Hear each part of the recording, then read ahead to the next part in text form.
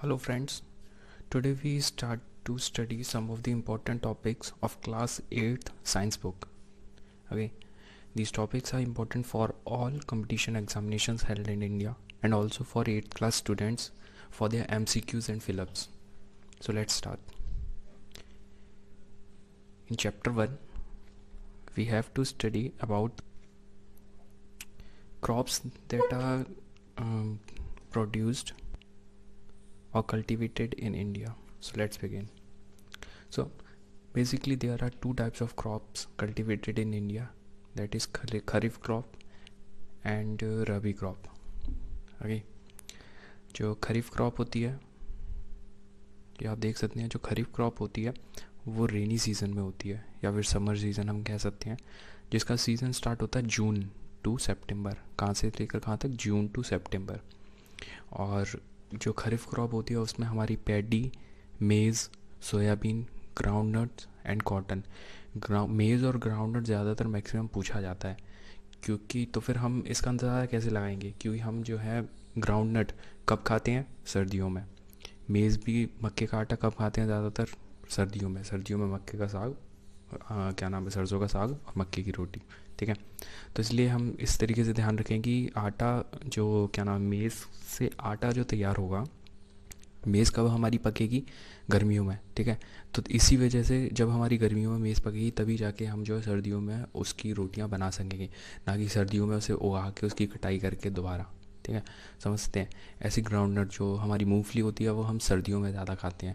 तो अगर सर्दियों में ही उसकी खेती होगी तो सर्दियों में हम उसे खा कैसे पाएँगे? इसलिए इस तरीके से हम ध्यान रख सकते हैं कि गर्मियों में जो है ग्राउंड नट हमारा यूज़ किया जाता है, जो है इसकी खेती की जाती है, ठीक है? उसके बाद आता है राबी क्रॉप रबी क्रॉप जो है विंटर सीज़न में होती है। इसका जो टाइम पीरियड होता है, वो अक्टूबर टू मार्च होता है।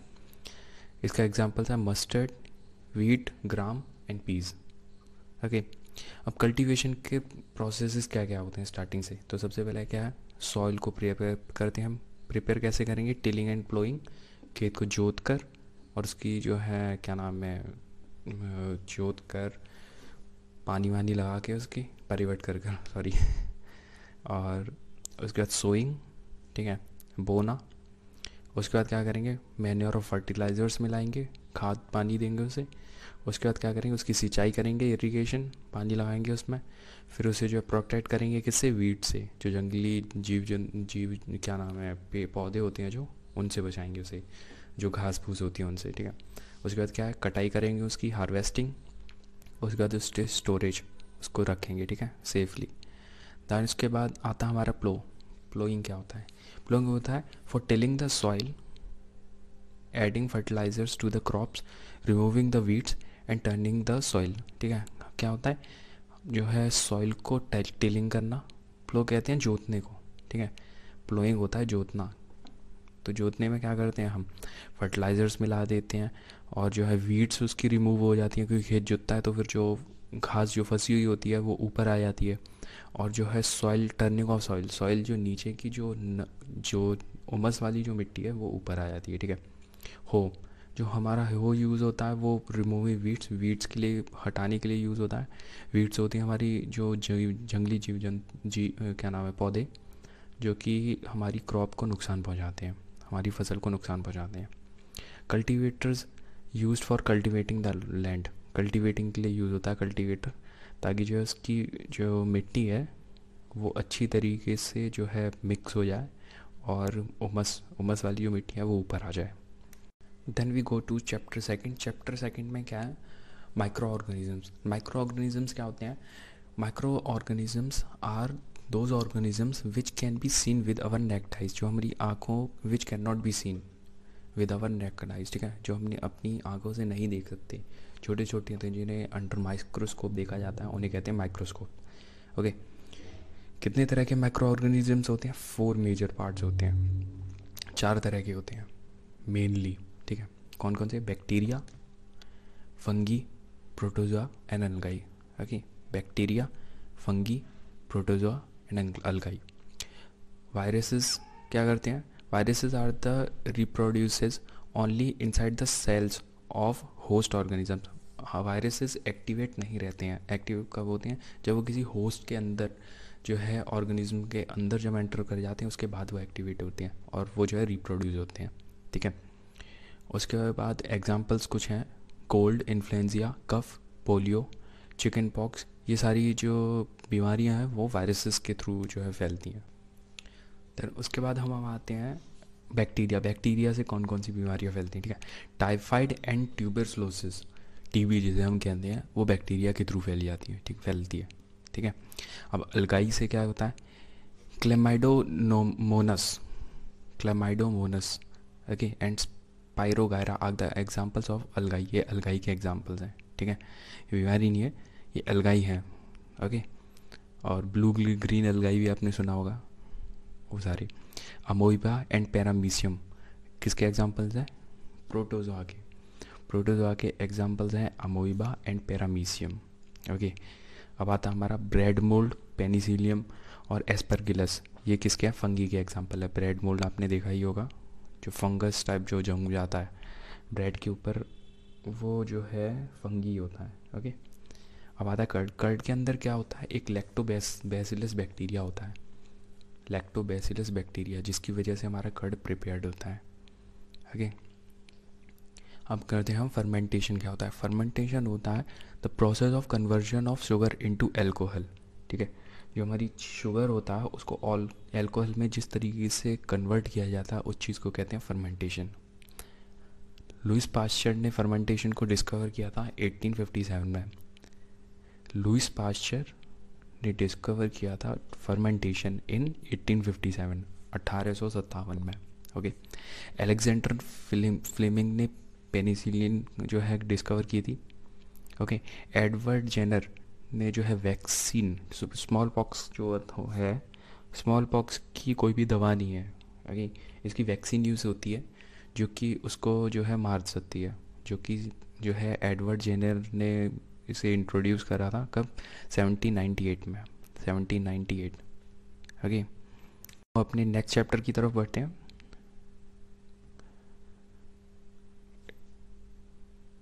अभी ये भी है, ठीक है? नेक्स्ट चैप्टर नहीं। सेकेंड चैप्टर ही चल रहा है। Diseases causing micro organisms are called pathogens pathogens क्या होते हैं? वो माइक्रो ऑर्गेनिजम्स जो कि डिज़ीज़ पैदा करते हैं, ठीक है? हम बीमारियाँ फैलाती हैं, बीमारियाँ लाते हैं। उन्हें कहते हैं पैथोजेंस ठीक है? जैसे कि मलेरिया है, ठीक है? मलेरिया किसके थ्रू होता है?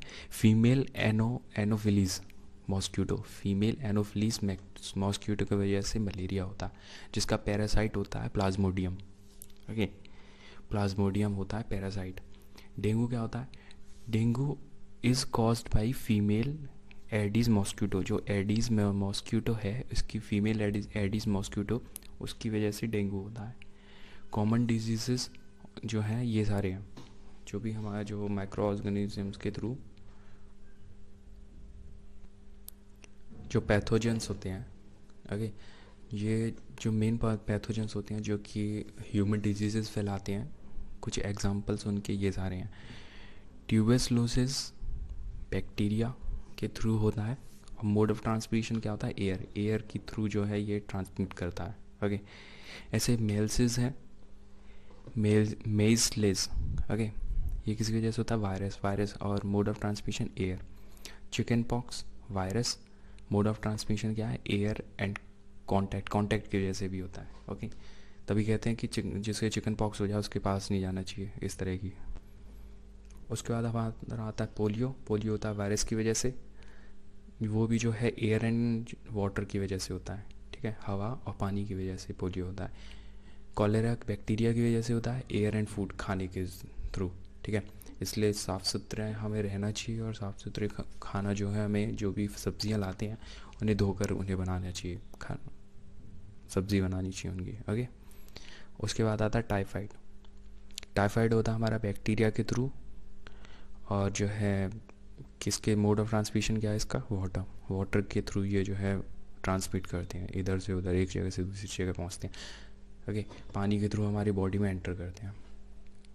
उसका बाद होता है हेपेटाइटिस ए वायरस जो कि वाटर के थ्रू एंटर होता है मलेरिया प्रोटोजोआ जो कि हमारा मॉस्क्यूटो मॉस्क्यूटो है। जैसा कि मैं बताया था मैंने मलेरिया फीमेल एनोफिलीज मॉस्क्यूटो है। उसके थ्रू जो है, ये मॉस्क्यूटो है, वो प्रोटोजोआ है। उसके थ्रू जो है, वो हमारी बॉडी में एंटर करती हैं। Okay Robert Koch discover the bacteria bacillus anthracis caused by anthrax disease okay एक बैक्टीरिया है बेसिलस एंथ्रेसिस जो कि हमारी जो बीमारी है एंथ्रेक डिज़ीज़ उससे हमें बचाता है। ये जो है रॉबर्ट कॉच ने डिस्कवर किया था। कुछ सम जो है प्लांट्स डिज़ीज़ हैं, जो कि माइक्रो ऑर्गेनिजम्स के थ्रू ही होती हैं। ठीक है? पैथोजन्स हैं। तो सम एग्जांपल्स उसके मैं बता देता हूँ आपको। सिट्रस कैंकर बैक्टीरिया के थ्रू होता है, मोड ऑफ़ ट्रांसमिशन क्या है? Air. Rust of wheat fungi की वजह से होता है, एयर एंड सीड्स। ओके? अब येलो वेन, मोइकस ऑफ़ भिंडी। भिंडी की जो येलो कलर की पत्तियाँ हो जाती हैं, वो किसकी वजह से होती है? येलोइश कलर की, वो वायरस की वजह से होती है, जो कि इंसेक्ट्स होते हैं। ठीक है? इंसेक्ट्स जो हैं, वायरस हैं, वायरस जो होते हैं, इंसेक्ट्स के थ्रू वायरस जो है, एंटर कर जाता है। और इसकी वजह से जो है भिंडी को हमारी, भिंडी के पौधे को हार्म करता है, ठीक है? एक प्रोसेस होता है pasteurization what is pasteurization pasteurization में क्या होता है? हमारा दूध होता है, दूध को हम सबसे पहले क्या करेंगे? गर्म करेंगे सेवेंटी डिग्री सेल्सियस पे ओके पंद्रह से तीस सेकंड तक। फिर क्या करेंगे? उसे सडनली जो है ठंडे ठंडी चिल्ड एरिया में रख लेंगे, ठीक है? और उसके बाद उसे स्टोर कर लेंगे। इस तरीके से क्या होता है कि जो हमारी माइक्रोज होते हैं, जो हमारे हार्मफुल पैथोजेंस होते हैं, या फिर जो है, जो माइक्रो जो माइक्रो ऑर्गेनिजम्स हैं, जो कि मिल्क को जल्दी से बेकार कर सकते हैं, वो सारे मर जाते हैं, उनकी ग्रोथ नहीं होती है। इसी को कहते हैं पास्चराइजेशन ये किसके थ्रू हुआ था? लुइस पास्चर ठीक है? लुइस पास्चर ने इन्वेंट किया था पास्चराइजेशन ओके और अपने नेक्स्ट चैप्टर पर चलते हैं। नेक्स्ट चैप्टर हमारा, जो है फाइबर्स के ऊपर है। फाइबर्स क्या है? सिंथेटिक फाइबर्स जो है मैन मेड होते हैं। जो नेचुरल फाइबर्स होते हैं, मैंने सिक्स क्लास के जो मेरी बुक है सिक्स क्लास जो एन e है, उसमें बता रखा है सिक्स क्लास की एन e की साइंस बुक में, जो कि मैंने पहले ही आपको समझा दिया है प्रीवियस वीडियो में अपनी। ओके अब सिंथेटिक फाइबर में क्या होता है? ये जो है many small units of chemical substances combined together to form a large single unit called polymer polymer जो छोटे छोटे स्मॉल यूनिट्स होते हैं केमिकल की, ठीक है, जो कि मिलकर पॉलीमर तैयार करते हैं। Cotton is a type of polymer called cell cotton के अंदर भी पॉलीमर होता है, जो कि सेलुलोज होता है, ठीक है, जो कि बनता है किससे? ग्लूकोज की, बहुत सारी यूनिट से, ठीक है। ग्लूकोज को इकट्ठा करके सेलुलोज बनता है, ठीक है। सोलोज एक तरह का पॉलीमर है, जो कि कॉटन बनाता है। ओके अब कितने तरह के सिंथेटिक फाइबर होते हैं? तो एन बुक e में मेनली चार तरह के सिंथेटिक फाइबर्स बताएँ। कौन कौन से? रेयन नाइलॉन पॉलिस्टर और एक्रेलिक ओके तो रेयन रेयन किससे ऑप्टेन होता है हमारा? ट्रीटमेंट ऑफ़ वुड पल्प ठीक है? वुड पल्प जो लकड़ी का पल्प होता है हमारा, उसके थ्रू ऑप्टेन होता है। इसलिए इसको ये भी कहते हैं कि नेचुरल सोर्स से जो है रेयन हमारा ऑप्टेन होता है। ठीक है? अब होता है नायलॉन नाइलॉन किससे ऑप्टेन होता है? Coal water and air. ठीक है? कोल से होता है।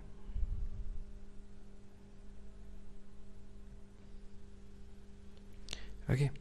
अब उसके बाद जो है एक और चीज़ होती है कि जो हमारा रे रेयन होता है वो आ, क्या नाम है नायलॉन होता है वो सबसे ज़्यादा स्ट्रॉन्गेस्ट होता है। वो इतना स्ट्रॉन्ग होता है कि जो है हमारे जो पैराशूट्स वो बनते हैं। वो भी नायलॉन से ही बनते हैं ओके और रेयन हमारा जो है नेचुरल फाइबर भी कहा जाता है ओके आर्टिफिशियल फाइबर अब वहाँ वहाँ आते हैं पॉलिस्टर पॉलिस्टर का एक एग्जांपल है टेरेलिन, ठीक है?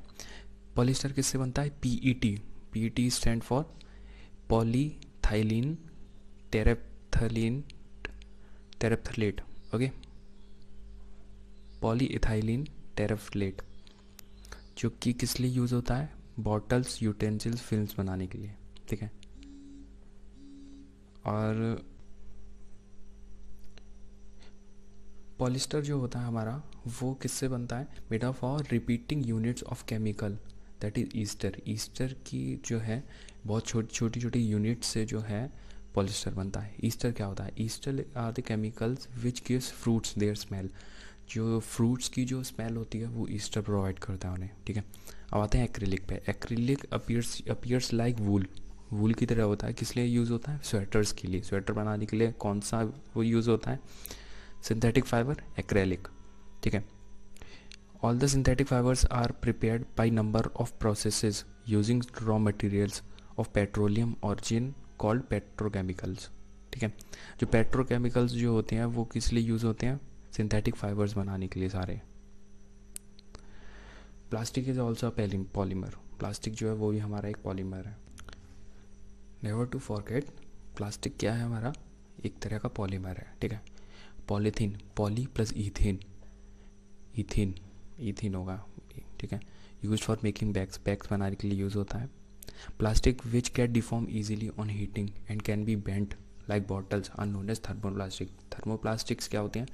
जो कि ईजिली बेंड हो जाती हैं डिफॉर्म हो जाते हैं, अपनी शेप को बदल सकते हैं। ठीक है? जैसे कि P V C polyvinyl chloride और पॉलीथीन ठीक है?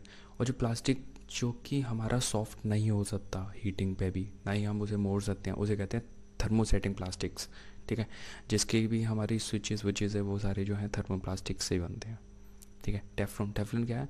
टेफ्लॉन जो है एक तरह की प्लास्टिक है, जिस पे ऑयल या फिर पानी स्ट्रिक नहीं होता, ठीक है? उस पर नहीं जो है बैठता, रुकता नहीं है उस पर फिसल जाता कहीं ना कहीं।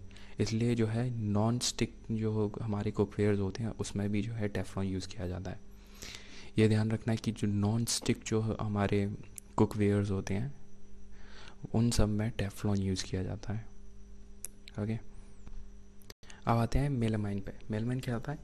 मेलमाइन जो है फ्लेम रेजिस्टेंट प्लास्टिक है, ठीक है? Flame resistant. उसमें आग नहीं लगती मेलामाइन में कभी भी, ठीक है? अब आते हैं बायोडिग्रेडेबल्स और नॉन बायोडिग्रेडेबल मटेरियल्स क्या क्या होते हैं?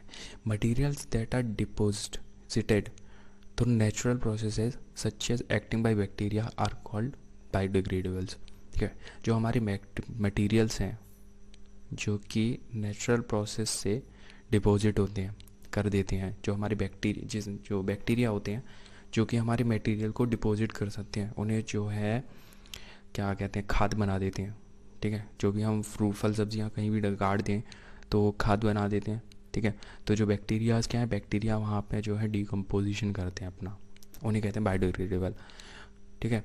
बायोडिग्रेडेबल मटेरियल्स क्या होते हैं, जो कि डिकम्पोज हो सकते हैं, जैसे कि हमारे जो है, फल, सब्ज़ियाँ जो होती हैं, उसका जो वेस्ट होता है वो और materials that can not decompose जो कि डिकम्पोज नहीं हो सकता, उन्हें कहते हैं नॉन बायोडिग्रेडेबल मटेरियल्स जैसे कि प्लास्टिक ठीक है? अब आता है हमारे पाँच आर फाइव आर के प्रिंसिपल्स क्या क्या हैं? ये ज़्यादातर पूछा जाता है कि फाइव आर्स की प्रिंसिपल्स क्या क्या हैं? तो फाइव आर्स हमें क्या शो करता है?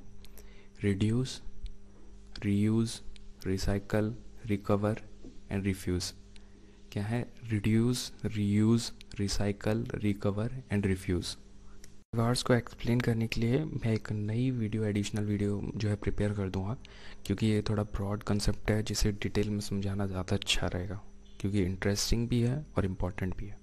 दैट इज़ वाई अब हम फोर्थ चैप्टर की तरफ़ चलते हैं। फोर्थ चैप्टर में सबसे फ़र्स्ट हमारा इम्पोर्टेंट टॉपिक है, वो होता है प्रॉपर्टीज़ ऑफ़ मेटल्स क्या क्या होती हैं। ओके तो सबसे पहले हमारी प्रॉपर्टी आती है मेलिएबिलिटी मेलिएबिलिटी मेलिएबिलिटी क्या होता है? कोई भी मेटल है, जब उसे मारते हैं, हथौड़े से मारें किसी से भी, और जब वो थिन शीट में प्रिपेयर हो जाता है, उस प्रोसेस को क्या कहते हैं? प्रॉपर्टी को क्या कहते हैं? Malleability metal that can be beaten into thin sheet is call malleability then second हमारी जो प्रॉपर्टी आती है, वो है डक्टिलिटी डक्टिलिटी क्या होता है? किसी भी मेटल को हम जो है उसको वायर की फॉर्म में खींचते हैं। ड्रॉन करते हैं, उस चीज़ को कहते हैं ductility property of metal that can drawn into wires is called ductility sonorous sonorous किसे कहते हैं? रिंगिंग साउंड जो होता है, हम अगर मेट दो मेटल को लेके जब एक दूसरे स्ट्रक्ट करेंगे तो एक तरह की आवाज़ साउंड जो क्रिएट होती है, उसे कहते हैं सोनरस साउंड ओके जो मेटल्स हैं हमारे सोडियम और पोटेशियम वो इतने ज़्यादा सॉफ्ट हैं, बहुत ज़्यादा सॉफ्ट हैं, जिसको कि हम जो है नाइफ से भी काट सकते हैं। ठीक है? चाकू से भी हम उन्हें काट सकते हैं इजीली किसी भी शेप में। देन हम पहुँचते हैं मरकरी पे। मरकरी एक ऐसा सिंगल मेटल है जो कि जो है रूम टेम्परेचर में भी लिक्विड फॉर्म में होता है लिक्विड स्टेट में। ये सिर्फ़ और सिर्फ़ अकेला एक मेटल है जो कि लिक्विड स्टेट में, जो है रूम टेम्परेचर में लिक्विड स्टेट में रहता है। ठीक है? सोडियम जो है बहुत ज़्यादा रिएक्टिव मेटल है, जिसकी वजह से उसे कैरोसिन में रखा जाता है, क्योंकि ये बहुत ज़्यादा हीट प्रोड्यूस करता है। मैं दोबारा रिपीट कर देता हूँ। जो सोडियम है, एक मेटल वो बहुत ज़्यादा रिएक्टिव इन नेचर होता है, इसकी वजह से उसे कैरोसिन में रखा जाता है कैरोसिन ऑयल में। ठीक है? फॉस्फोरस एक तरह का नन मेटल है, जो कि आग पकड़ लेता है, जैसे ही हम उसे हवा में एक्सपोज करते हैं। ठीक है हवा के कॉन्टैक्ट में जैसे ही आता है वैसे ही फॉस्फोरस आग पकड़ लेता है। इसलिए उस वो जो है वाटर में कीप जो है स्टोर करके रखते हैं उसे ठीक है पानी के अंदर। उसके बाद करते हैं डिस्प्लेसमेंट रिएक्शन क्या होता है? डिस्प्लेसमेंट रिएक्शन होता है कोई भी हमारी टू मेटल्स हैं ठीक है। अब उन मेटल्स में जो है किसी एक्व सॉल्यूशन में जब उन्हें हम पोर करते हैं तो जो प्रॉपर्टी है जो आ, क्या नाम है एक मेटल को दूसरे मेटल से डिस्प्लेस कर देता है, ठीक है? उसे हटा देता है और दूसरे जो है मेटल के साथ ज्वाइन कर देता है। उस चीज़ को कहते हैं डिस्प्लेसमेंट रिएक्शन में एग्जांपल से आपको समझ में आ जाएगा। जैसे कि हमारा कॉपर सल्फेट है। कॉपर सल्फेट और जिंक क्या बनाता है? जिंक सल्फेट और कॉपर तो सल्फेट क्या है? कॉपर के साथ था। उसके बाद जब उसे सॉल्यूशन में करते हैं तो क्या करता है? कॉपर कॉपर से अलग हो जाता है और जिंक के साथ जुड़ जाता है आगे, ठीक है? और जिंक सल्फेट बना देता है। एलिमेंट्स क्या होते हैं? एलिमेंट्स होते हैं if a substance can not be broken down further by chemical reaction by cooling heating और बाय इलेक्ट्रोलाइसिस ठीक है? कोई भी एलिमेंट एलिमेंट उसे कहते हैं जो कि स्मॉलेस्ट हमारा पार्टिकल है, जो कि ना तो हम उसे, उससे ज़्यादा तोड़ सकते हैं, ना काट सकते हैं, ना उसे गर्म करके, ना ही उसे गर्म करके, ना बहुत ज़्यादा ठंडा करके और ना ही इलेक्ट्रोलाइसिस इलेक्ट्रिसिटी के थ्रू कंडक्ट करके ओके कुछ एग्जांपल दिए हैं, इसमें भी सल्फ़र आयरन कार्बन ये सारे एलिमेंट्स हैं, ठीक है? अब उसके बाद हमारा एटम एटम क्या होता है? Simplest unit of element simplest unit of element is called atom सबसे छोटी यूनिट एक एलिमेंट की एटम कहलाती है। मेटलाइट्स वो जो है मेटल्स एंड नॉन मेट वो होते हैं, वो जो है मटेरियल होते हैं जो की मेटल्स एंड नॉन मेटल दोनों की प्रॉपर्टीज़ होती हैं। ओके मेटलाइट्स वो मटेरियल्स होती हैं जिसमें मेटल्स एंड नॉन मेटल्स दोनों की प्रॉपर्टीज़ होती हैं। ओके अब हम नेक्स्ट चैप्टर की तरफ़ चलते हैं।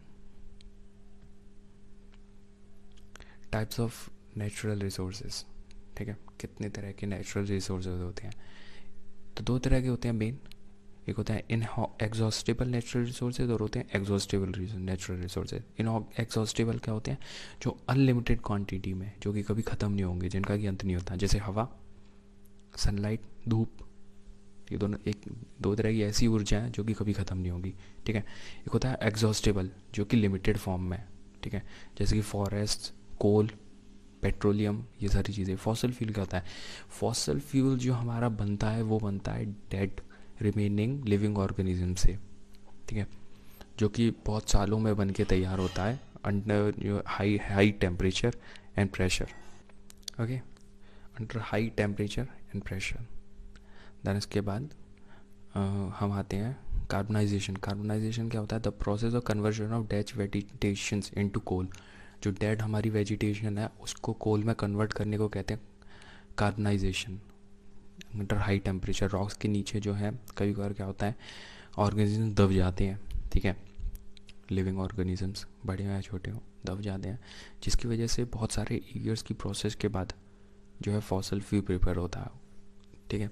उस प्रोसेस को हम क्या कहते हैं? कार्बनाइजेशन कोक जो है प्योरेस्ट फॉर्म होती है कार्बन की। कोक हमारी प्योरेस्ट फॉर्म होती है कार्बन की ओके जो कोल गैस है हमारी वो प्रोड्यूस किससे होती है? Obtain during the process by during the process of coal to get coke ठीक है? कोल को कॉक कोक में कन्वर्ट करने के लिए जो प्रोसेस हम करते हैं, उसके ड्यूरिंग में हमारी जो है कोल गैस मिलती है, ठीक है? पेट्रोलियम हमें कहाँ मिलता है? रॉक्स अंडर अर्थ ठीक है? बिटवीन रॉक्स जो हमारी पत्थर हैं नीचे ज़मीन के, बहुत नीचे जाके, उनके बीच में जो है हमें पेट्रोलियम मिलता है, ठीक है? Petroleum is formed from dead organisms in the sea under high pressure and temperature petroleum जो है बहुत समुद्र की गहराई में मिलता है। क्यों मिलता है? क्योंकि वहाँ पे ऑर्गेनिजम्स मर जाते हैं। उसके बाद क्या होता है? हाई टेम्परेचर रहता है और प्रेशर रहता है, जिसको वो ईयर्स मिलियंस ऑफ़ ईयर्स में कन्वर्ट हो के हो के हो के पेट्रोलियम प्रिपेयर कर देते ठीक है? अब कहते हैं कि उसकी माइंस कहाँ पे ऑयल की। ठीक है? तो जो दुनिया की सबसे पहली माइन थी, वो हमें जो है पेंसिल्वेनिया में मिली थी। जो कि यूएसए में है इन 1859 में। इंडिया में मक्कुम में है और आसाम में, ठीक है, जो कि हमें मिली थी 1867 में। सीएनजी किसके लिए स्टैंड करता है? कंप्रेस नेचुरल गैस और एलपीजी किसके लिए स्टैंड करता है? लिक्विफाइड पेट्रोलियम गैस सीएनजी की फुल फॉर्म है कंप्रेस्ड नेचुरल गैस और एलपीजी की फुल फॉर्म है liquefied petroleum gas oil is found in Assam Gujarat Mumbai and river basins of Godavari and Krishna ठीक है? Natural gases is found in Tripura Rajasthan Maharashtra and in Krishna Godavari delta okay तो यही सारे important topics थे fifth chapter में, जो कि learn करना ज़रूरी है। अब आते हैं सिक्स चैप्टर पे हम। सिक्स चैप्टर में सबसे पहली जो हमारी डेफिनेशन है वो होती है कम्बशन की। कमीशन क्या होता है combustion is a chemical process है एक तरह की। In which substances react with oxygen to get heat off ठीक है? कुछ सबस्टांस हैं जो कि ऑक्सीजन के साथ रिएक्ट करती हैं, जिससे कि जो है गर्मी पैदा होती है, उस चीज़ को कहते हैं कम्बशन इग्निशियन टेम्परेचर क्या होता है? सबसे कम टेम्परेचर जिस पे कि कोई भी सबस्टांस आग पकड़ ले, उसे कहते हैं इग्नियस टेम्परेचर इग्नियस टेम्परेचर क्या होता है? कोई भी हमारा सबस्टांस है वो जितने सब, कम से कम टेम्परेचर में आग पकड़ ले। कुछ ना कुछ मिनिमम टेम्परेचर हर सबस्टांस का होता है। उसको कहते हैं हम इग्नियस टेम्परेचर ठीक है? मैच स्टिक में क्या होता है? मैच स्टिक स्टिक में हमारा आता है antimony trisulphide and potassium chloride होता है। और जो हम रबिंग सरफेस होता है, जो जो मैक्स मैच स्टिक का जो बॉक्स होता है, उसके साइड साइड में जो रबिंग बॉक्स होता है, जिसकी तरफ़ हम मैच स्टिक को मारते हैं, लगाते हैं, वो किसका होता है? Powder of glass and race for red phosphorate phosphorus ठीक है? तो ग्लास और रेड फॉस्फोरस का कॉम्बिनेशन होकर वो जो पाउडर प्रिपेयर होता है, वो लगाया जाता है। और जो अपर पार्ट होता है, ये वाला, देखिए ये वाला, जो अपर पार्ट होता है फ्लेम का, वो सबसे ज़्यादा हॉटेस्ट होता है। एज़ कंपेयर टू यहाँ पे, बीच में। इसलिए आपने देखा भी, कुछ जने जो है बीच में हाथ डाल लेते हैं। कोई भी कैंडल है, उसके जो है, जो फ्लेम होता है, उसके बीच में हाथ लगा लेंगे, फिर बोलेंगे जादू देखे, कुछ पता नहीं लग रहा है। एक्चुअली ऐसा होता है कि उनसे बोलिएगा कि ऊपर हाथ लगा के दिखाया था मामा ने, ठीक है? और कैलोरिक वैल्यू कहता है। कैलोरिफिक वैल्यू होती है amount of heat energy produced on completing combustion of one K G of fuel ठीक है? एनर्जी अमाउंट ऑफ़ एनर्जी जो है, हमें कितनी एनर्जी की ज़रूरत है?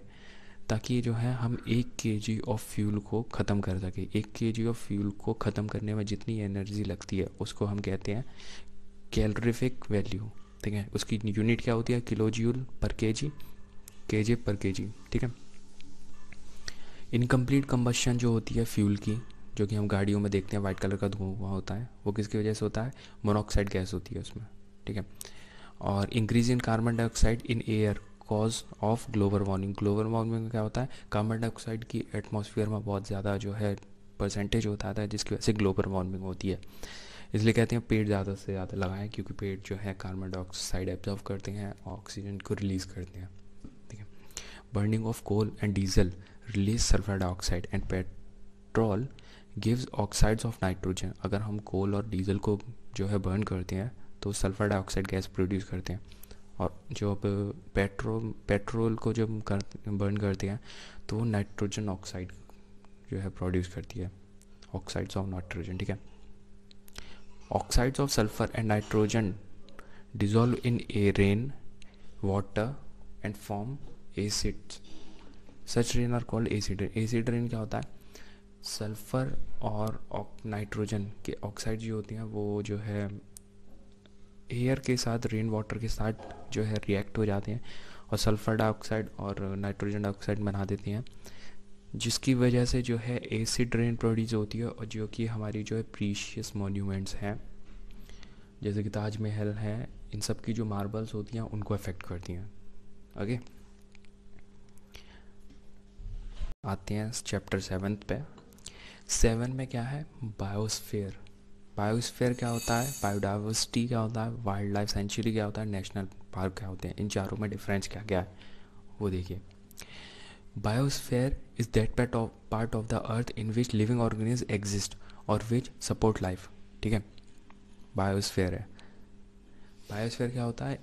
कोई एक पार्ट अर्थ का जिसमें कि लिविंग ऑर्गेनिजम्स रहते हैं, जैसे कि ये आप देख सकते हैं। पचमरी बायोस्फीयर रिज़र्व है। इतना बड़ा है। इसके अंदर जो है नेशनल पार्क्स भी हैं, सेंचुरीज़ भी हैं। ये सारी इसके अंडर में आ रही हैं, ठीक है? तो सबसे बड़ा क्या होता है? बायोस्फीयर रिज़र्व फिर क्या होता है? बायोडाइवर्सिटी बायोडाइवर्सिटी क्या होता है? Variety of organisms existing on earth हमारे अर्थ पर बहुत सारी वेराइटीज़ हैं ऑर्गेनिजम्स की, जिसको हम क्या कहते हैं? बायोडाइवर्सिटी वाइल्ड लाइफ सेंचुरी क्या होता है? वाइल्ड लाइफ सेंचुरी वो एरिया होता है जिसमें कि एनिमल्स को प्रोटेक्ट करके रखा जाता है। ठीक है? फ्रॉम एनी डिस्टर्बेंस कि उन्हें मार ना दे या फिर कोई जो है, उन्हें, उनका जो है, जो उनके पार्ट्स जो हैं, इधर से उधर स्मगलिंग ना करें, ठीक है? या फिर जो है, उनकी प्रोटेक्शन के लिए कि वो जो है भूख भूख से मर ना जाए, इसलिए उनकी सारी जो है प्रोटेक्शन करा जाता है वाइल्ड लाइफ सेंचुरीज़ में। नेशनल पार्क में क्या होता है? Area where light wildlife where they can freely use the habitat and natural resources वो फ्री होते हैं नेशनल पार्क्स में। वो कहीं भी घूम सकते हैं, कुछ भी कर सकते हैं, ठीक है? उस एरिया में। कोई फाउंडेशंस नहीं होती। किन के लिए? एनिमल्स के लिए, इंसानों के लिए नहीं एनिमल्स के लिए। Okay biosphere reserves are large area of protected land for conversion of conservation of wildlife plants animals resources and traditional life of the tribals living in the area, जो पुराने जो जो बायोस्फेयर रिज़र्व जो होते हैं, उसमें जो है, कुछ छोटे छोटे गाँव भी होते हैं, जिन्हें आदिवासी भी कहा जाता है, वो भी रहते हैं बायोस्फेयर रिजर्व्स में। वाइल्ड लाइफ सेंचुरीज और नेशनल पार्क्स में आपको इस तरह के नहीं मिलेंगे। अच्छा फ्लोरा जो होता है हमारा, वो स्टैंड करता है प्लांट स्पेसीज़ के लिए एंड फोना स्टैंड करता है एनिमल स्पेसीज़ के लिए। जहाँ पे कहीं भी आप फ्लोरा एंड फोना नाम सुने तो इसका मतलब समझिए कि प्लांट्स एंड एनिमल्स की बात हो रही है। ठीक है?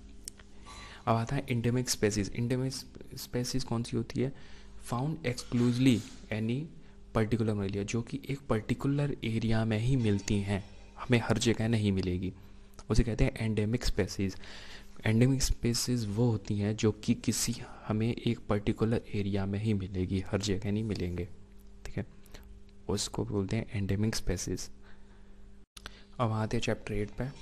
तो चैप्टर एट में सबसे पहले सेल क्या होता है ये? सेल जो है सबसे छोटी यूनिट होती है ऑर्गन की, ठीक है? किसी भी ऑर्गन की सबसे छोटी यूनिट, बेसिक यूनिट को कहते हैं, स्मॉलेस्ट यूनिट को कहते हैं सेल। सेल किसने डिस्कवर किया था? रॉबर्ट हुक ने 1665 में। सेल किसने डिस्कवर किया था? रॉबर्ट हुक ने 1665 ठीक है? सबसे जो बड़ा सेल है, वो ऑस्ट्रिच का माना जाता है, ओके? ऑस्ट्रिच का जो सबसे बड़ा सेल है, वो ऑस्ट्रिच का माना जाता है, जो कि 170 टू वन थर्टी मिलीमीटर लंबा और बड़ा होता है, चौड़ा होता है ओके और egg of the hen represent a single cell ठीक है?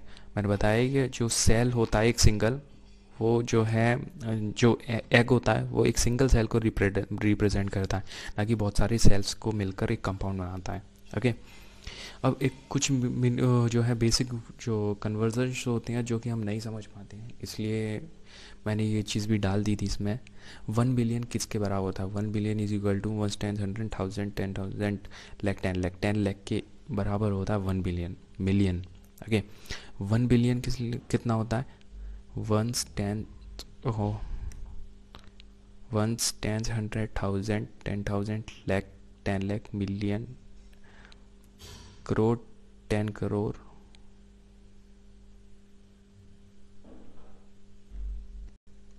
अरब, ठीक है? एक अरब के बराबर होता है हमारा वन बिलियन ठीक है? और वन ट्रिलियन क्या होता है? कितना होता है? ये होता है one tens thousand lakh ten lakh अरे हिंदी में कर लो इकाई ढाई सैकड़ा, हज़ार, दस हज़ार, लाख, दस लाख, करोड़, दस करोड़, अरब, दस अरब, खरब, दस खरब, ठीक है? टेन खरब के बराबर होता है वन ट्रिलियन आपका। एक सिंपल सा कंसेप्ट है। वन बिलियन में तीन तीन के दो पेयर बनते हैं। वन बिलियन में तीन तीन के तीन पेयर बनते हैं। वन ट्रिलियन में तीन तीन के चार पेयर बनते हैं। एक, दो, तीन, चार चार पेयर बनते हैं, ठीक है? Amoeba and paramecium are the examples of single cell ठीक है? एक सेल है अमोइबा और पैरामीशियम एक सेल है, एक तरह का, ठीक है? बहुत सारे। अब हम आते हैं मूवमेंट ऑफ़ अमोइबा को क्या कहते हैं? मूवमेंट ऑफ़ अमोइबा कहते हैं सीडोपोडियम क्या कहते हैं सीडोपोडियम सबसे बिगेस्ट सेल मैंने बता दिया. Organs are made up of small parts call tissue tissues को से मिलकर ऑर्गन्स बनते हैं, ठीक है? टिश्यूज़ को से मिलकर ऑर्गन्स मिलते हैं. Tissues is a group of similar cell performing a specific function ठीक है? बहुत सारे एक तरह के सेल मिलकर टिश्यू बनाते हैं, जो कि एक पर्टिकुलर स्पेसिफिक फ़ंक्शन के जो है वर्क करते हैं। Main components of cell are membrane cytoplasm and nucleus हट गया है, छुप गया न्यूक्लियस ठीक है? Main components of cell cell किस किस से बना होता है? मेम्ब्रेन साइटोप्लाज्म और न्यूक्लियस से, ठीक है? Humans does not have cell wall they have जो है ह्यूमंस में जो है सेल वॉल नहीं होती, ठीक है? मेम्ब्रेन होता है साइटोप्लाज्म होता है और न्यूक्लियस होता है ह्यूमंस के अंदर, ठीक है? मेम्ब्रेन होता है। सेल वॉल किसमें होती है? प्लांट्स में। कभी बार पूछ लेते हैं कि सेल वॉल किस किसमें होती है? ह्यूमन, प्लांट्स और दो तरह के नाम देती है तो वहाँ पे किसको टिक करना है? प्लांट्स को। ठीक है? जीन्स। जीन्स क्या होता है? Sequence of DNA and are RNA. Deoxy ribose nucleic acid and ribose nucleic acid. ठीक है? जीन क्या होता है? सीक्वेंस होता है डीएनए और आने का। उस आरएनए का। इसको हम आगे पढ़ेंगे फर्दर, जो है नाइन्थ में। उसके बाद क्या है? The cell have nuclear material without nuclear membrane is called अच्छा प्रोकैरियोटिक सेल्स और इक्वारियोटिक सेल्स क्या होते हैं? प्रोकारियोटिक सेल्स कौन से होते हैं? जिसमें कि न्यूक्लियर मेम्ब्रेन नहीं होता। एक सीधा सा कंसेप्ट ध्यान रखिए, जिसमें न्यूक्लियर मेम्ब्रेन नहीं होता, वो प्रोकैरियोटिक होते हैं और जिसमें न्यूक्लियर मेम्ब्रेन होता है, वो यूकैरियोटिक सेल्स होते हैं। ठीक है? जिसमें न्यूक्लियर मेम्ब्रेन नहीं होता, वो प्रोकैरियोटिक सेल्स होते हैं, जिसमें यूकैरियोटिक सेल्स क्या, कौन से होते हैं, जिसमें न्यूक्लियर मेम्ब्रेन होता है। ठीक है? Bacteria and blue green algae are only prokaryotic cells prokaryotic जो सेल्स हैं, जिसमें कि न्यूक्लियर मेम्ब्रेन नहीं होता, वो दो ही होते हैं bacteria and blue green algae ठीक है? ह्यूमन चिक सेल का एक एग्ज़ाम्पल देख लीजिए। इसमें ये जो है न्यूक्लियर मेम्ब्रेन है, ये सेल मेम्ब्रेन है बाहर साइटोप्लाज्म ये न्यूक्लियस है बीच में। ओके ये डिफरेंस बताया कंपैरिजन कराया प्लांट सेल और एनिमल सेल में। ये देखिए, जो है सेल वॉल इसमें दिखाई गई है प्लांट सेल में बट एनिमल सेल में नहीं दिखाई गई है, ठीक है?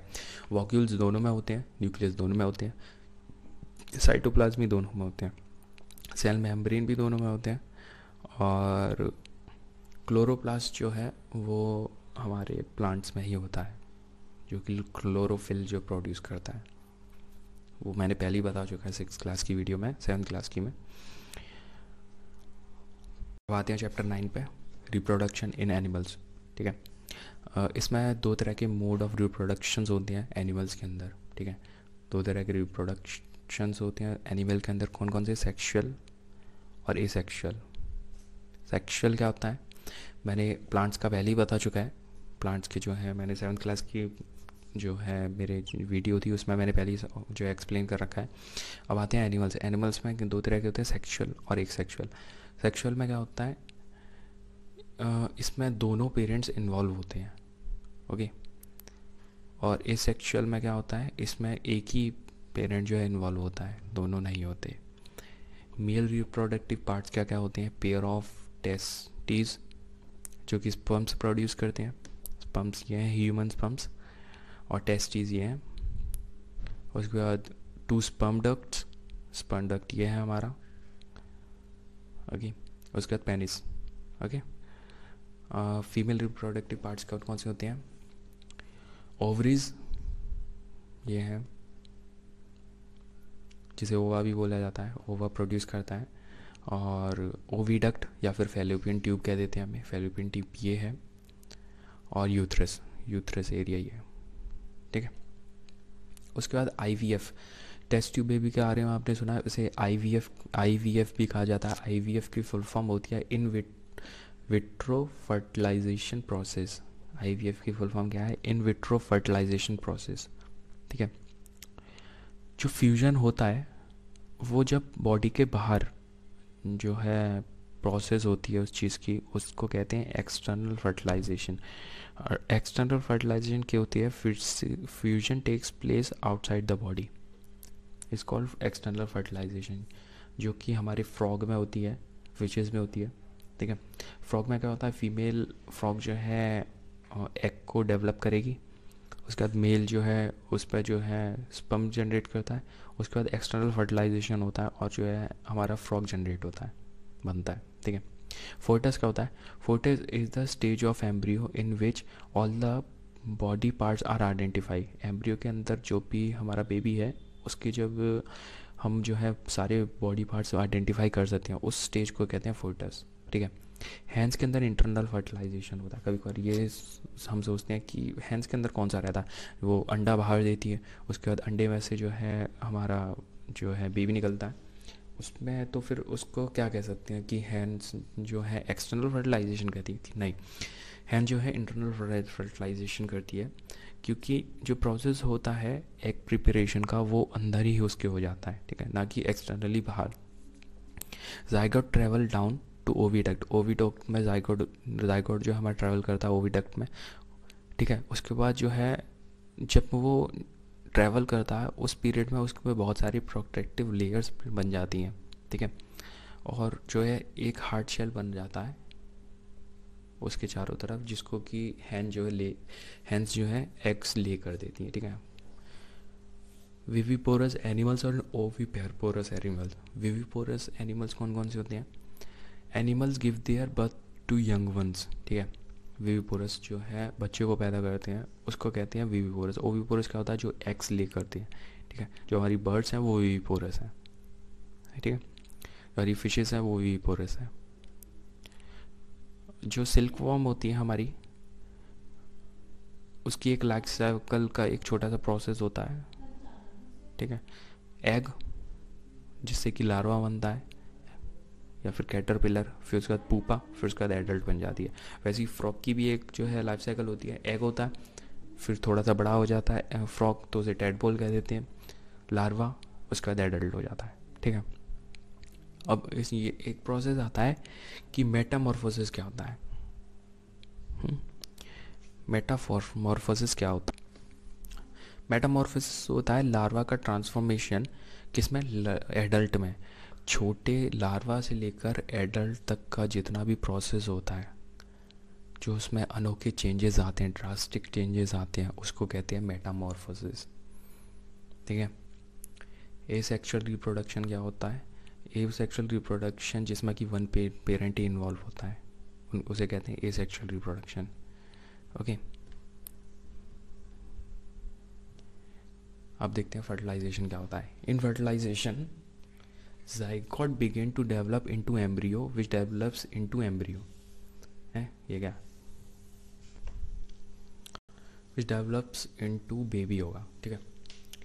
इन फर्टिलाइजेशन जाइगोट जो हमारा जाइगोट ये है फ्यूजन और न्यूक्लियस ठीक है? दो न्यूक्लियस का फ्यूजन होता है। वो किसमें डेवलप होता है? एम्ब्रियो में। ये देखिए जाइगोट जा रहा है, ये एम्ब्रियो में डेवलप हो गया है यहाँ जाके यूथ्रिस में, ठीक है? एम्ब्रियो डेवलप हो गया। उस एम्ब्रियो के बाद वो बेबी बन जाता है, ठीक है? उस सारे प्रोसेस को कहते हैं फर्टिलाइजेशन ठीक है? The fusion of egg and the sperms is called fertilisation egg और स्पम्स का जो है फ्यूजन होता है, उसे कहते हैं फर्टिलाइजेशन ओके हम नेक्स्ट चैप्टर में आएँगे हमारे टेंथ चैप्टर में टेंथ चैप्टर टेन इसमें सबसे पहले एडलोसन क्या होता है? एडलोसन एक पीरियड ऑफ़ लाइफ एक ज़िंदगी का एक पहर होता है, एक जो है पीरियड होता है। जिसमें कि बहुत सारे ड्रास्टिक चेंजेस होते हैं। चेंजेस होते हैं रिप्रोडक्टिव मेच्योरिटी आती है बच्चों के अंदर, जो कि 11 टू 18 ईयर्स के बीच में होता है, ग्यारह से अठारह साल के बीच में होता है, उसे कहते हैं एडलोसेंट ठीक है? प्यूबर्टी क्या होता है? प्यूबर्टी होता है during adolescence make the onset changes during adolescent make the onset is called puberty okay oil glands are सेवेसियस glands और जो हमारे ऑयल ग्लैंड्स होते हैं ऑल डक्ट्स होते हैं, वो सारे सेबेसियस ग्लैंड्स होते हैं, ठीक है? स्वेट ग्लैंड्स ऑयल ग्लैंड्स और salivary glands are duct glands duct glands कौन कौन से होते हैं? Sweat sweat gland oil glands and salivary glands जो कि हमारे माउथ में पाए जाते हैं, वो सारे डक्ट ग्लैंड्स होते हैं। डक्ट डक्टलेस कौन से कौन से हैं? Endocrine glands release hormones to blood streams endocrine glands जो होते हैं, वो हमारे हारमोन्स को रिलीज़ करते हैं, ठीक है? इसलिए उन्हें डक्टलेस ग्लैंड बोला जाता है, ठीक है? सेकेंडरी सेक्सुअल कैरेक्टरिस्टिक्स कौन कौन सी होती हैं? जो कि हम देख सकते हैं डेवलपमेंट जो देख सकते हैं, ठीक है? जैसे लड़के के अंदर ब्रीड्स आना, दाढ़ी आना, ठीक है? छाती पर बाल आना, उन सारी चीज़ों को जो है secondary sexual secondary sexual characters कहते हैं। हारमोन्स क्या होता है? हारमोन्स की वजह से जो है एडल एडलोसन एज में चेंजेस आते हैं हमारे, ठीक है? हारमोन्स की वजह से हमारी ग्रोथ होती है हारमोन्स की वजह से जो है हमारे मसल्स डेवलप्स होते हैं, जो भी सारे प्रोसेस होते हैं हमारी बॉडी में, जो भी डेवलपमेंट चेंजेस होते हैं, वो सारे हारमोन्स की वजह से होते हैं। तभी कहते हैं कि हारमोन्स डेवलप करो, जो है टैबलेट्स खाओ एडिशनल टैबलेट्स ठीक है? इसकी वजह से। अब जो bleeding in women is called menstruation ठीक है मैंसुरेशन क्या होता है?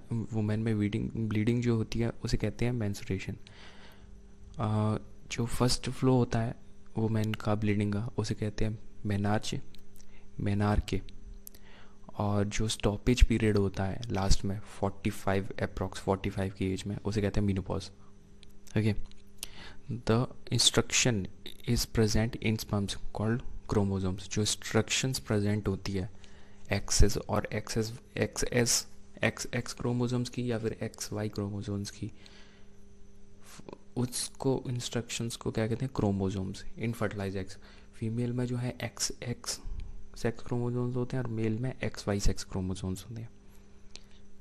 ओके और नेक्स्ट हम देखते हैं टाइप्स ऑफ़ इंडोक्राइन ग्लैंड कौन कौन से होते हैं? तो इंडोक्राइन ग्लैंड जो होते हैं हमारे pituitary gland thyroid gland adrenal gland pancreas okay ये सारे जो है एंडोक्राइन ग्लैंड होते हैं इंडोक्राइन ग्लैंड सबसे पहले हम देते हैं पीट्यूटरी ग्लैंड पीट्यूटरी ग्लैंड जो होता है वो हमारी ग्रोथ हार्मोन्स को जो है सीक्रेट करता है, ठीक है? तो इसलिए हम कहते हैं कि पीट्यूटरी ग्लैंड के लिए जो है कि हम जो है एंटीबायोटिक्स भी लेते हैं। ठीक है टैबलेट्स भी लेते हैं ताकि जो है पिटरी ग्लैंड जो है हार्मोन्स को सिक्रेट कर सके। इसी वजह से हमारी जो है बॉडी में डेवलपमेंट जल्दी से जल्दी हो, तेज़ी हो, ठीक है। थायरॉयड ग्लैंड हमारे गले में के नीचे होता है, जो कि थायरोक्सिन एक बीमारी है, वो भी हो जाती, जो है वैक्सीन है थायरॉयड ग्लैंड जो है थायरोक्सिन प्रोड्यूस करता है ओके थायरॉयड ग्लैंड हमारा थायरोक्सिन प्रोड्यूस करता है। उसके बाद एटर्नल ग्लैंड पे चलते हैं। एटर्नल ग्लैंड यहाँ पे होता है हमारे। वो क्या सिक्रेट करता है? Hormone which maintain the correct salt balance in blood and balance emotions like angriness stress जो भी हमारे इमोशंस होते हैं। टेंशन लेना, गुस्सा आना स्ट्रेस लेना, ठीक है? वो सारे किस लिए होते हैं? एडनल ग्लैंड की वजह से। ये जो हार्मोन सिक्रेट्स करते हैं वो जो है हमारी बेसिक क्वांटिटी साल्ट की कितनी होनी चाहिए हमारे ब्लड में, उस चीज़ को मेंटेन करने के लिए यूज़ होता है, ठीक है? उसके बाद आते हैं the growing of voice box in boys is called Adam's apple हमने देखा होगा कि बॉयज़ के ज़्यादातर गले में इस तरह का जो है, ये नुकीला, नुकीले टाइप का जो है शेप बन के आ जाती है गले में। उस चीज़ को क्या कहते हैं? Adam's apple okay chapter eleven और ट्वेल्व में मुझे ज़्यादा कुछ इंपॉर्टेंट टॉपिक्स मिले नहीं और जो इम्पोर्टेंट टॉपिक्स थे वो मैं आपके साथ शेयर कर देता हूँ। चैप्टर ए पुश और पुल फोर्स क्या होता है हमारा? एक पुश और पुल ऑन एन ऑब्जेक्ट किसी भी ऑब्जेक्ट पे हम कोई भी धक्का देते हैं या फिर उसे खींचते हैं उस चीज़ को कहते हैं फोर्स ठीक है? जो फोर्स की स्ट्रेंथ होती है वो मैग्नीट्यूड में एक्सप्रेस करी जाती है। फ्रिक्शन क्या होता है? फ्रिक्शन होता है जब भी हम कोई भी फोर्स लगाते हैं तो एक अपोजिट फोर्स हमारी तरफ़ जो है लगती है। तभी हम जो है उसे धक्का मारते हैं तो एक अपोजिट की, उसकी तरफ़ से भी एक फोर्स लगती है हमारी तरफ़। ठीक है? फोर्स ऑफ़ फ्रिक्शन जिसको हम कहते हैं फ्रिक्शन फोर्स ठीक है? प्रेशर क्या होता है? Pressure force per unit area is called pressure ठीक है? Force per unit area is called pressure कुछ एग्जांपल्स मैं बताता हूँ कि ड्यू टू फ्रिक्शन फ्रिक्शन जो है, जो अनइवन हमारा सरफेस होता है और सरफेस होता है तो हम जो है, उसमें ग्रिप इजीली बना देते हैं। वो किसकी वजह से बना देते हैं? फ्रिक्शन की वजह से। फ्रिक्शन की वजह से ही हमें जो दीवार में नेल लगाते हैं नेल ठोकते हैं तो जो अपोजिट फोर्स जो लगती है, हमें फोर्स लगानी पड़ती है। वो फ्रिक्शन की वजह से लगानी पड़ती है, ठीक है? एटमॉस्फेरिक प्रेशर क्या होता है? Pressure exerted by the air ये हमारी हवा में भी एक तरह का प्रेशर है। उस प्रेशर को जो प्रेशर जो हमारा एग्जर्ट करता है एयर की वजह से, उसे कहते हैं एटमॉस्फेरिक प्रेशर ठीक है? तो हम चैप्टर थर्टीन की तरफ़। थर्टीन में क्या है? साउंड क्या होता है? साउंड होता है वाइब्रेटिंग बॉडी कोई भी बॉडी जब वाइब्रेट करती है तो साउंड प्रोड्यूस करती है। ठीक है? बहुत तेज़, जो कि हम, जो है हमारी हमारी नेक टाइक से नहीं देख सकते हैं वाइब्रेशंस को। ठीक है? वाइब्रेशन क्या होता है? To and fro motion of an object to and fro motion of an object is called vibration okay propagation क्या होता है? प्रोपिगेशन होता है एक मीडियम। साउंड को बहने के लिए एक मीडियम की ज़रूरत पड़ती है। ठीक है? समझ रहे हो? जो साउंड होती है, हमारी हम कोई भी बात बोलते हैं तो एक मीडियम की ज़रूरत पड़ती है हमें, ताकि हम जो है एक जगह से दूसरी तरह जगह पर हम अपनी साउंड को पहुँचा सकें। वैक्यूम में हम हवा, आवाज़ को ट्रांसफ़र नहीं कर सकते। अच्छा एक और चीज़ थी कि साउंड जो है गर्मियों में समर सीज़न में ज़्यादा दूर तक पहुँचती है एज़ कंपेयर टू सर्दियों में, ठीक है? गर्मियों में साउंड जो है ज़्यादा दूर तक पहुँच लेगी एज़ कंपेयर टू सर्दियों में। सर्दियों में ज़्यादा दूर तक नहीं जाती आवाज़। To and fro motion of an object is called oscillatory motion किसी भी जो है ऑब्जेक्ट का आगे, पीछे, फिर आगे, फिर पीछे जाना क्या कहता है? Oscillatory motion number of oscillation per second is called frequency frequency क्या होता है? Number of oscillation per second एक मिनट में जितने ऑसिलेशन कोई भी ऑब्जेक्ट लगाता है टू एंड फ्रो जाता है, उसकी इसको कहते हैं फ्रीक्वेंसी फ्रीक्वेंसी की ऐसा यूनिट क्या होती है? हर्ट्स और एच जेड हर्ट्स ठीक है? Loudness is expressed in decibel loudness किसमें एक्सप्रेस करी जाती है? डेसिबल में.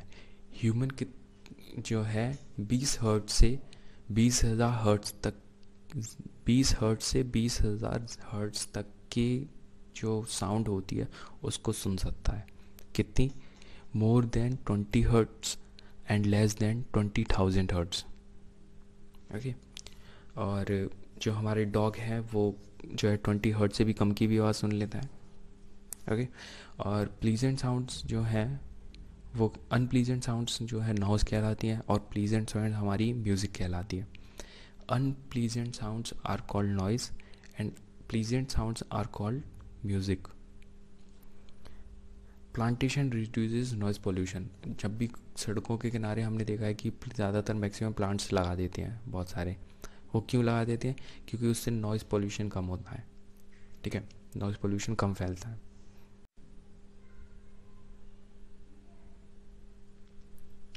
चैप्टर फोर्टीन फोर्टीन में क्या है? इलेक्ट्रोप्लेटिंग इलेक्ट्रोप्लेटिंग क्या होता है? The process of deposition of layer of metal और अदर मेटल मेटल किसी भी मेटल पर किसी दूसरे मेटल का, की लेयर बनाना, जैसे कहते हैं इलेक्ट्रोलिक इलेक्ट्रोप्लेटिंग जैसे कि क्रोमियम प्लेटिंग जो है, करते हैं हम क्रोमियम की प्लेटिंग जो कि शाइनी अपीरेंस देती है.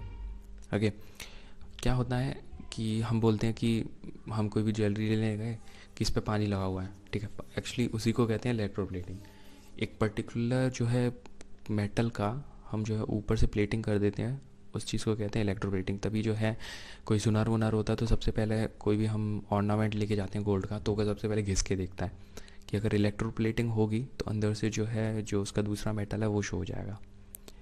इलेक्ट्रोस्कोप क्या होता है? इलेक्ट्रोस्कोप एक डिवाइस है जो कि किसी भी ऑब्जेक्ट में चार्ज कैरी हो रहा है इलेक्ट्रिसिटी कैरी हो रही है या नहीं हो रही, इस चीज़ को बताता है। उसे कहते हैं इलेक्ट्रोस्कोप चैप्टर फिफ्टीन में। चैप्टर फिफ्टीन में जो है अर्थ की जो पावर होती है, वो किस किस पे जो है एक्सप्रेस होती है? रिक्टर स्केल ये रिक्टर स्केल है। रिक्टर स्केल है नहीं अभी इसमें। रिक्टर स्केल जो होता है, वो जो है पावर जो होती है अर्थ की, उसको जो है शो करता है। ठीक है?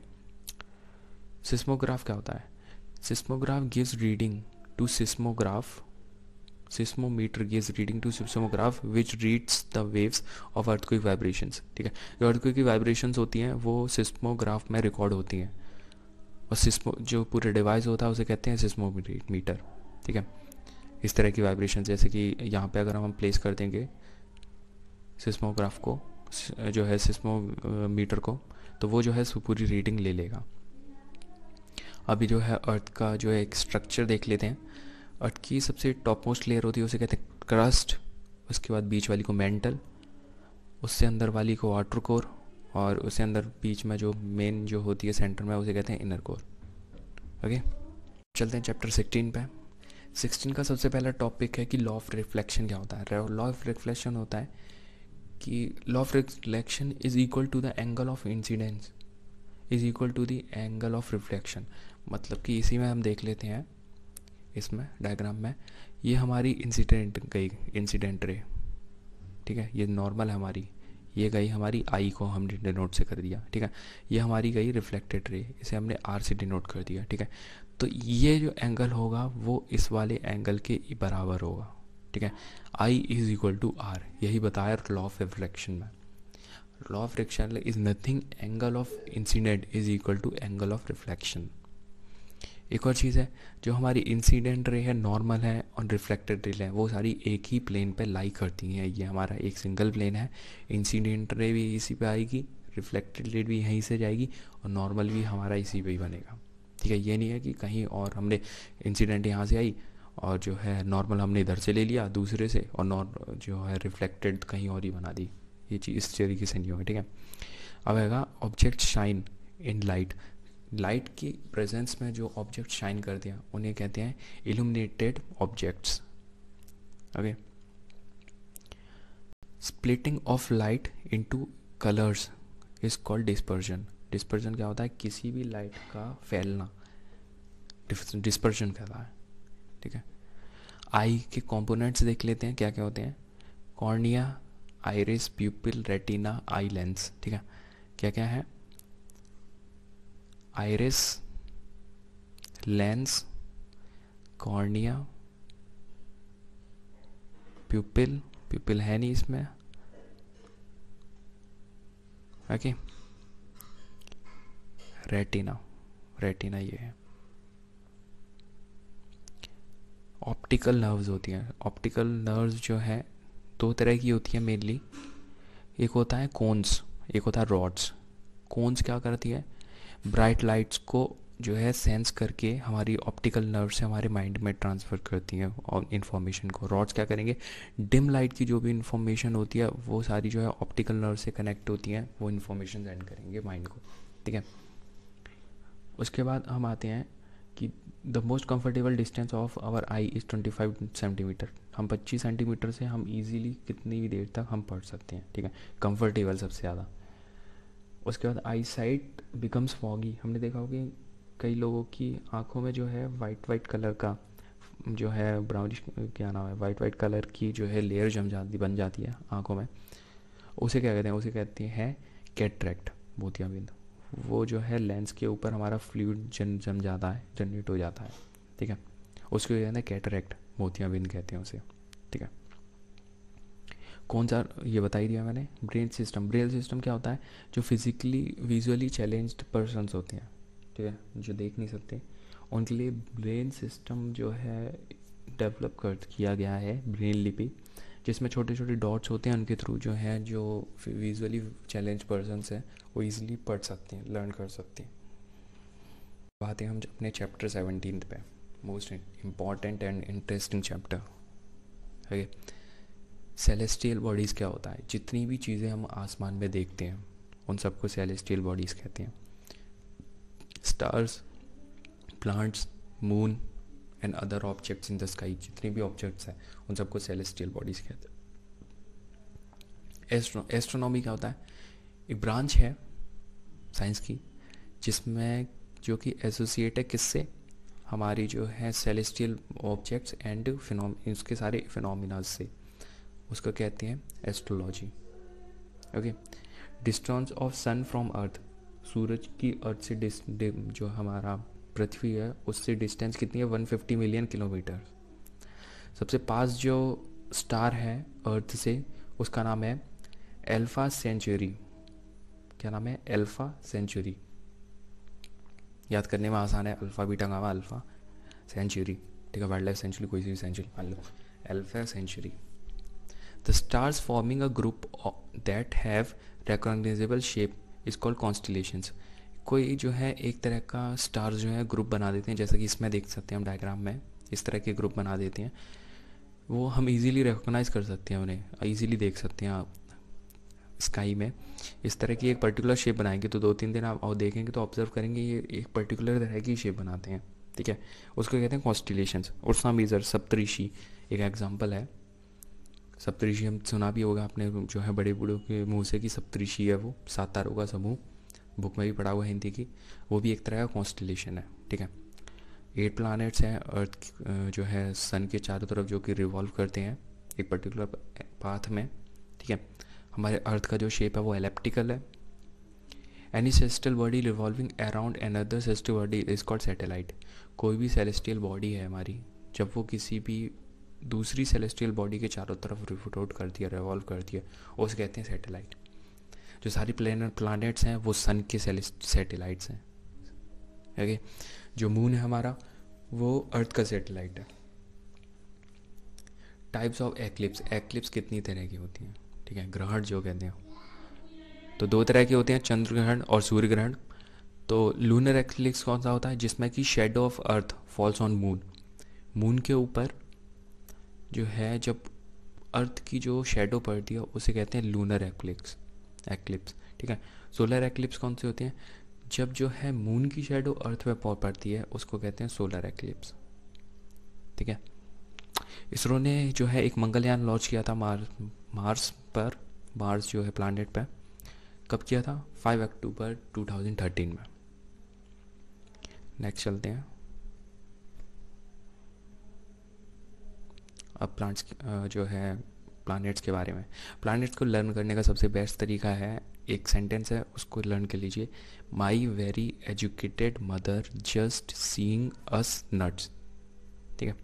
My very educated mother just seeing us नस नट्स माई मतलब Mercury very Venus earth E earth educated का अर्थ, मदर का मार्स, जस्ट का जुपिटर, सींग का सेचन अस का यूरेनस एंड नट्स का नेपच्यून ओके सबसे पहले देखते हैं मरकरी पे। मरकरी क्या है? सबसे नियरेस्ट टू सन है और सबसे छोटा प्लानट है, जिसकी कि कोई भी सैटेलाइट नहीं है। इसको हम बायोलॉजिकली तरीके से भी याद कर सकते हैं। सॉरी क्या कह रहा हूँ? ईजी वे में भी लर्न कर सकते हैं। जिसमें कि मरकरी जो है सबसे नियरेस्ट है सन के। दैट इज़ वाई जो है बहुत ज़्यादा गर्मी भी होगी इस पर तो वो धीमे धीमे धीमे धीमे छोटा बनता जाएगा। सबसे ज़्यादा हॉटेस्ट हॉटेस्ट प्लानट भी कह सकते हैं हम तो धीमे धीमे छोटा हो जाएगा जिसकी वजह से क्या है आ, उसकी जो सैटेलाइट भी नहीं है और सबसे छोटा प्लानट बन जाएगा ठीक है? वीनस क्या है? वीनस जो है सबसे बड़ा प्लानट है बिगेस्ट प्लानट है जो कि रोटेस्ट करता है ईस्ट टू वेस्ट और उसके पास कोई भी सैटेलाइट नहीं है। अर्थ के बारे में आप सभी जानते हैं अब चलते हैं मार्स पे। मार्स क्या है? रेडिश इन कलर और इसके पास कितनी? दो सैटेलाइट्स हैं। जुपिटर के पास हाईएस्ट नंबर ऑफ़ सैटेलाइट्स हैं, जो कि सिक्सटी सेवन है। एंड उसके पास रिंग्स भी है, ठीक है? Also have rings around them also having highest number of satellites okay और जुपिटर जो है हमारा लार्जेस्ट सबसे बड़ा प्लानट भी है। जुपिटर सबसे बड़ा ब्राइटेस्ट वीनस सबसे छोटा मरकरी, ग्रीन प्लानट हमारा अर्थ, सबसे ज़्यादा सैटेलाइट्स होती हैं जुपिटर पे। रेडिश कलर का मार्स होता है, येलोइश कलर का सेचर्न होता है। और यूरेनस एंड नेपच्यून में यूरेनस जो है रोटेट करता है ईस्ट टू वेस्ट, जैसा कि वीनस करता है, ठीक है? और अब चलते हैं हम एस्टेरॉइड्स पे। एस्टेरॉइड्स क्या क्या है? Asteroids are revolving between Mars and Jupiter. यह मार्स और जुपिटर के बीच में ये जो डॉट डॉट से देख रहे हैं, छोटे छोटे छोटे थे ये हैं एस्टेरॉइड्स जो कि रिवॉल्विंग करते हैं मार्स एंड जुपिटर के बीच में, ठीक है? कॉमेट्स क्या है? इसको धूमकेतु भी कहा जाता है हिंदी में, ठीक है? कॉमेट्स इस तरह के होते हैं, जो कि एक पर्टिकुलर रिवॉल्यूशन रिवॉल्व करते हैं, जो कि देखे भी जाते हैं कभी कभार ठीक है? बहुत रेयर केस में। मेटेयर्स मेटेयर्स क्या होते हैं? शूटिंग स्टार्स जो हम कहते हैं ना कि विश मांग ले तो पूरी हो जाएगी। वो एक्चुअली मेटेयर्स होते हैं शूटिंग स्टार्स जिसे कि अलका भी कहा जाता है। ठीक है? और सम मेटर्स मेटेयर्स होगा। Some meteors are large and reaches earth called meteoroids ठीक है? कुछ मेटेरॉइड्स क्या होते हैं? बहुत ज़्यादा बड़े होते हैं, जो कि अर्थ के जो सरफेस पे तक पहुँच जाते हैं, जिसको कि मेटेरॉइड्स कहते हैं। अब चलते हैं लास्ट चैप्टर पे chapter number eighteen chapter number eighteen में स्मोक और फॉक के मिक्सचर को कहते हैं smog S M O G smoke और फॉक के मिक्सचर को कहते हैं smog C F C stand for chlorofluorocarbons chlorofluorocarbons जो कि हमारे ओजोन लेयर को डैमेज कर देती है जो कि हमें प्रोटेक्ट करती है harmful rays from the earth जो कि अल्फ़ा अल्ट्रा वॉलेट रेस भी कहा जाता है जिन्हें, ठीक है? Thank you for watching this video please like and subscribe और अगर आपको कोई भी तरह की कन्फ्यूज़न है, कोई भी टॉपिक में पर्टिकुलर टॉपिक में तो आप मुझे कमेंट बॉक्स में बता सकते हैं, ताकि मैं उसकी जो है प्रॉब्लम को रिजॉल्व कर सकूँ और एक न्यू वीडियो बना दूँगा मैं उसके ऊपर और कोई भी दिक्कत आती है आपको जो है एट क्लास की साइंस की बुक में तो आप मुझसे कॉन्टैक्ट कर सकते हैं। Thank you for watching this video